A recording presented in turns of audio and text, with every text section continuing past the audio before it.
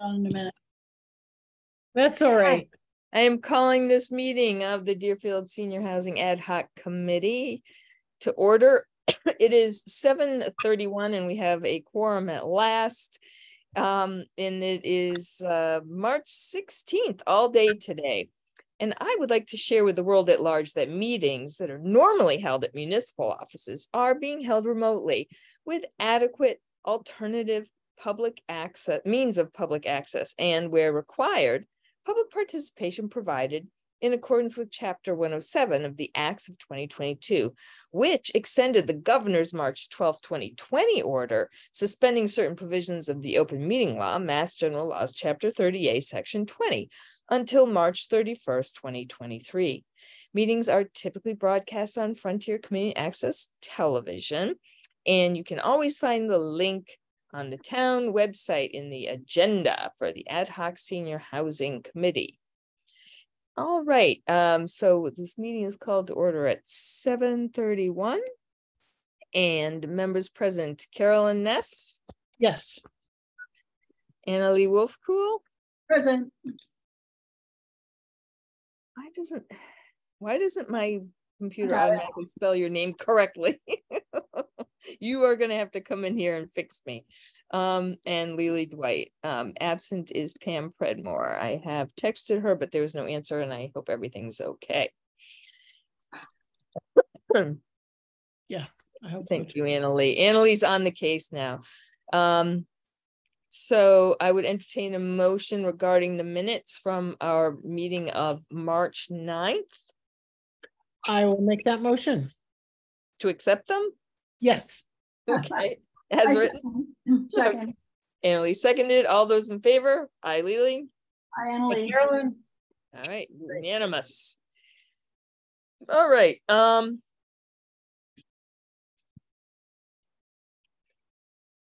uh, So I'm gonna update you on the CPC application. Um. I submitted our revisions. And they were not reviewed in the CPC meeting because we were addressing the eighteen eighty-eight building, which um is pretty complicated. But then also, apparently there were other applications that had not been, they've not been posted. None of them have been posted except for the senior housing one. Um, and neither were they emailed to Alan or the committee. So they, although they were submitted on time, they never didn't make it to us until last night. So there's a, Oh. there's a um couple of other ones. None of them are huge, but um they so so people generally felt seemed to be very comfortable with our application because we had done such a you know a level of specificity. And i did assure them that we had addressed the concept of older adults as a uh, threatened resource for our town. So anyway everybody will is expected to review them. Our next meeting is March 29th, which is actually nine days after the warrant closes. But um, I guess our chair is gonna p- submit holding articles. So we'll know more, but I, I'm not anticipating any problems. People generally think that this is a really good idea and it is absolutely worthy of funding. So tonight we were going to be talking about outreach efforts and um what I would love to do is just spend 15 minutes brainstorming on ways to effectively reach people in town. Um, and I think that there's a couple of things going on and we should figure out how we want to how we want to be associated there needs to be a significant outreach effort around the whole municipal campus. Yeah. And the complete neighborhoods people um, who are coming out for a site visit, I think the first week in April, um, are going to, I believe, going to be able to work with the town on, um, on outreach. They are going to be hosting a full, um, CCI group meeting for brainstorming, followed by a large public session. Probably won't happen before town meeting, though. Yeah, but I don't think it really needs to happen at town meeting, do you think? Well, probably not because the eighteen eighty-eight building application has made it in on time and been accepted as an application. But the committee agreed to delay its review and recommendation to town meeting until the special town meeting um, sometime later in August or whenever we have our special town meeting. Uh, we probably want to wait till uh free cash is certified, so it'd be after mid-September. Okay, so that's, so that is the, that is going to be a complicated and large conversation. So it's not gonna happen at this town meeting, which means there'll be senior, for CPC money, there's senior housing. There's a bike path feasibility study. There's a um, document restoration request kind of a thing, which seven hundred bucks sort of a thing. So, um. I don't think there'll be. Big drama before town meeting for any of this, but I do think that we need to. Start getting out there. Regardless, and the question of whether we do it in conjunction with the. Municipal campus promotion, or we do it independent of it. I don't think we can be completely independent of it, and. I'm tell, I'll tell you that my thought for meeting with the um South Deerfield Women's Club. Was to say that we're looking at putting senior housing. In that campus or in close proximity to that campus, you know, everything's still fluid. But that um. That it, that that's where it's going to be sited and that.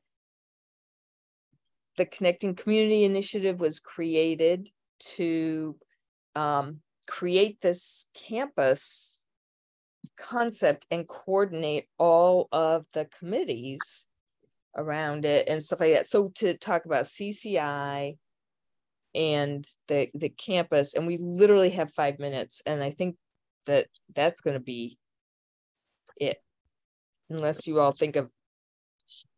It just it's mostly to say we are working. It'll be coming up in town meeting, and um I, I would say, uh, yeah, literally five minutes, because we haven't, I mean, there, you know, what.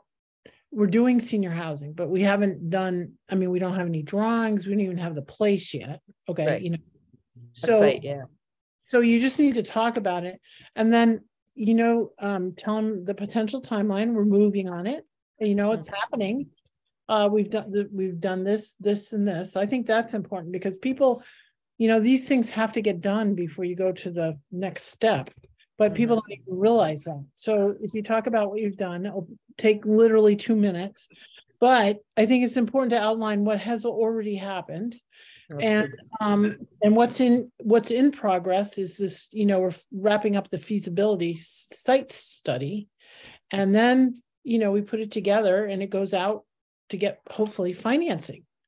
Um, so that's really important. But then I, I think, you know, every time you talk about something, it's good.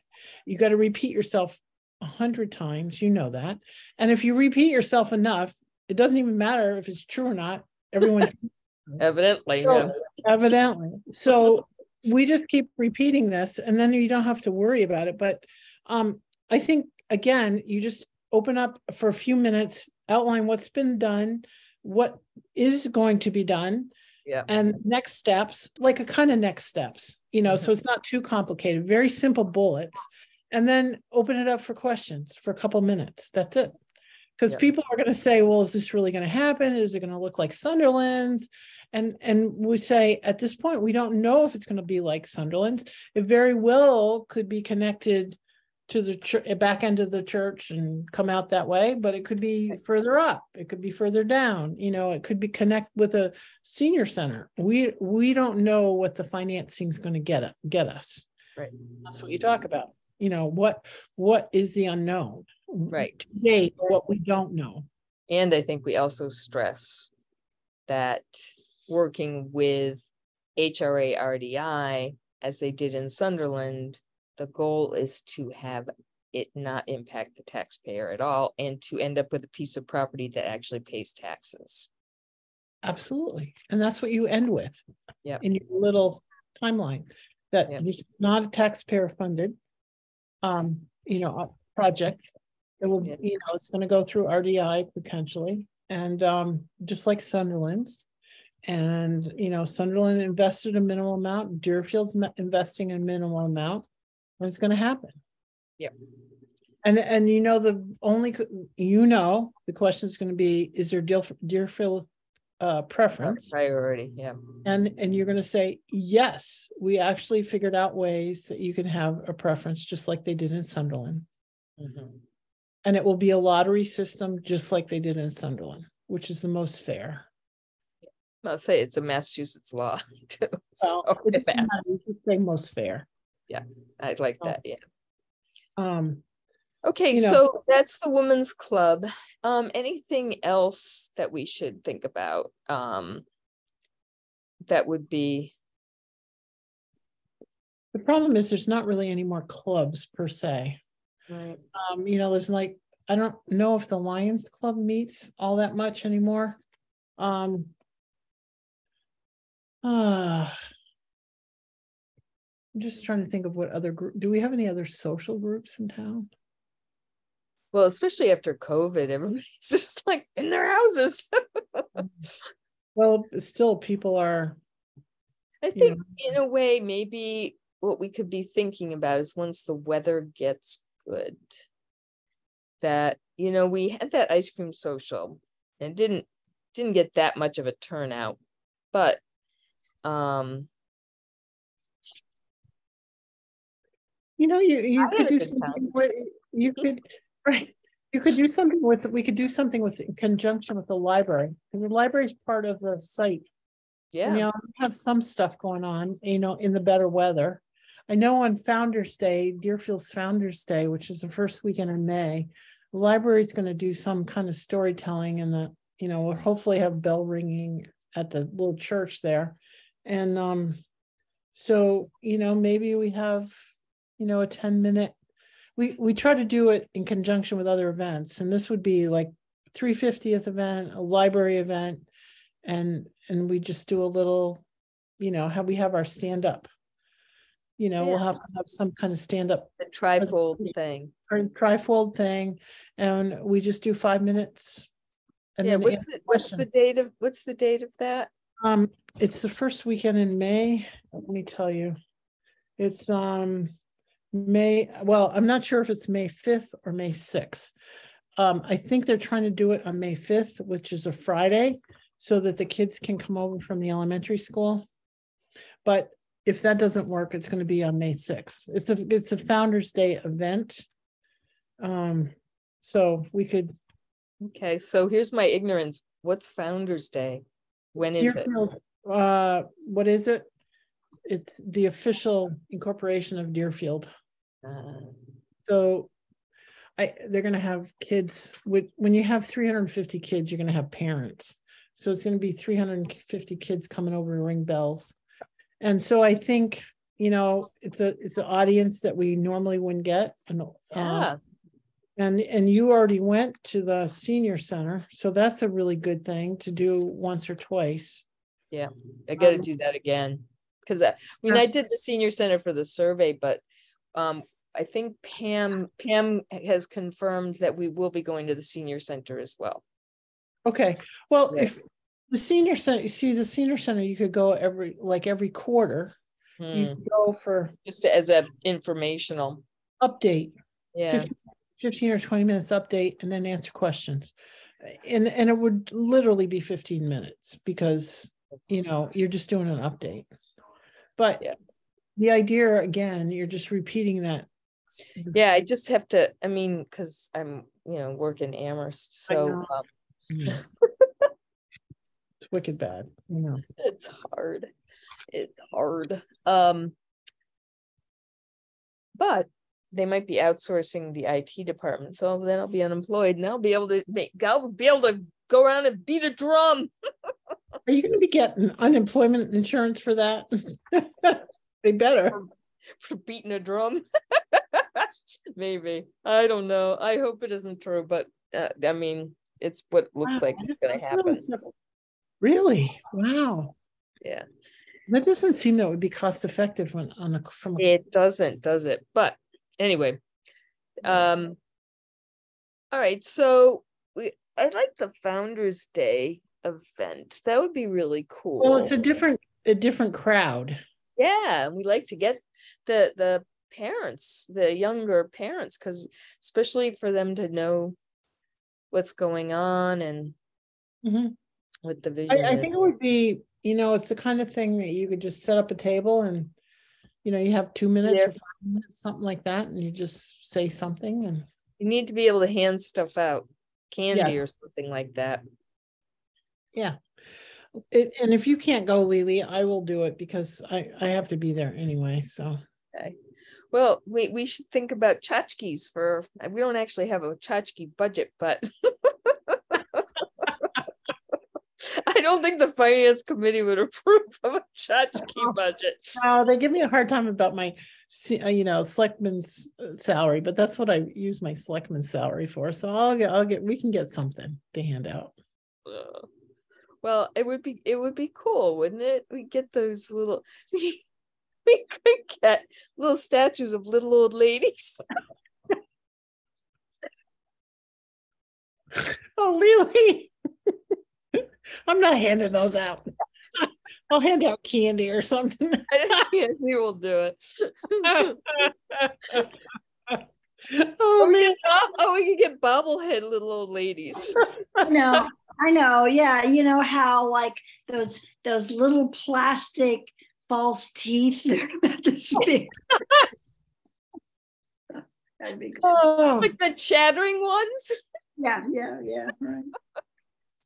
Oh. Well, I think that this is a start. I like this Founder's Day event idea. We're gonna do the senior center. We're going to do the South Deerfield Women's Club. And um, those will give us experience and and help us to um know Well, how to address yeah, what, what, what, what we need to do is just figure out what kind of questions people are gonna have and be prepared to answer them. And, and after one or two times, that'll mean, really you know. Yeah. Deerfield preference is this, you know, and Taxes. taxes, right? So you, you kind of know what some of the stuff is, but you, this way, if you do constant updates, then people, number one, they think it's gonna happen. Number Yeah. two, it, it reinforces that there is movement and that you need them to come to town meeting for something, whatever. And, you know, for support maybe. And, um, you know, so that's the kind of thing that's good, Good. in my It mind. Yeah. Okay, well, excellent. So that's a start. Um, does anybody have any new business that we didn't anticipate forty-eight hours ago? Um, so the next meeting is scheduled for next Thursday. Um, and I actually don't know. Been so, we've been so focused on our CPC application and all that kind of stuff. Um, let's plan on meeting and we'll have it just be a CPC update and um Okay. if anybody can think of anything else, but I, it could be a very short meeting because until um Berkshire Design can get in and um finish the wetlands delineation. I did, oh, I did at the request of this committee, ask if um anybody could, if we could find the money to pay the architects or anybody, would they be willing to start on a promise? And the answer was no. So it was more like, no, they just literally can't put us in their schedule. You know, until like August or something. So, but what I think I will do is I will contact Rachel and say um that we we're gonna have the full support of the CPC and the select board and everybody. So please put us on their calendar and we will have the money right after town meeting. Which It'll be is available July first. it'll be available July. Money, well, if it's, I wonder if they'll be willing to. So I'll talk to her, like if it's voted on in town meeting, Actually, why uh, July first? right, because CPC, have it. money. we have it. We have it all, CPC money. right. So just ver, okay, I'll verify with Brenda. Let me write this down. Yeah, please I'll verify with Brenda that CPC money is available. Right, as soon as it's voted, Yeah. Well, yeah, because it's already in the bank. it's in the bank. Cause that would be awesome. That Yeah, be that's, great that's. April twenty-fourth, so there's a difference between April twenty-fourth and July first. Yes, ma'am. Um, Sixty days at least. well, and you want to get in the queue because Right, you- so that's what I'm gonna, I'll tell her is that please to be in touch with the architects and everybody to say that this is, this is what we're doing and I'll.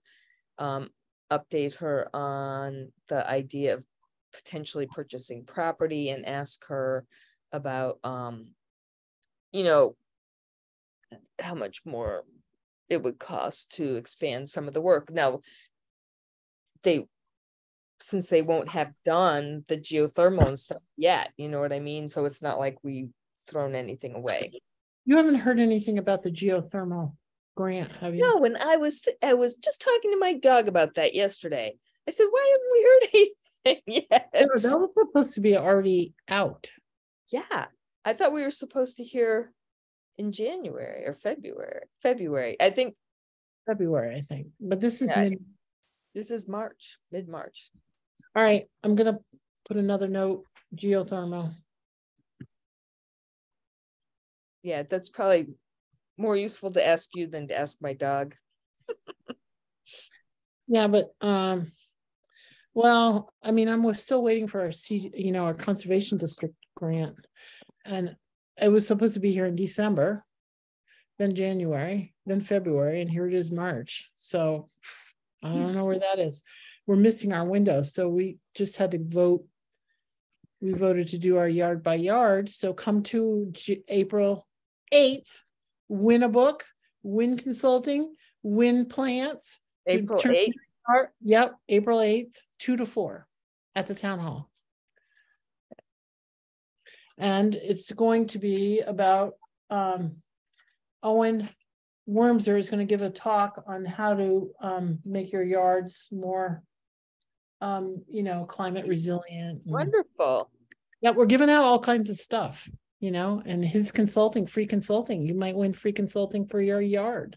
Wow, I'd love that. You know, um, what from two to four, you said? Yeah, Um, because we Byron and I. and you could be a winner. There's all kinds of gifts. Yeah, And it's only gonna be the people, you know, you can show up. come in that show up are gonna be in the pot. So you might really and- win and where is this gonna be, Carolyn? um at the town hall. Okay, cool. Yep. Very cool. Um, I'll be there, because we've been talking about trying to turn our front lawn into a meadow anyway, and um. Haven't Well, been he'll able. tell you how to do it. He'll tell you what plants to plant.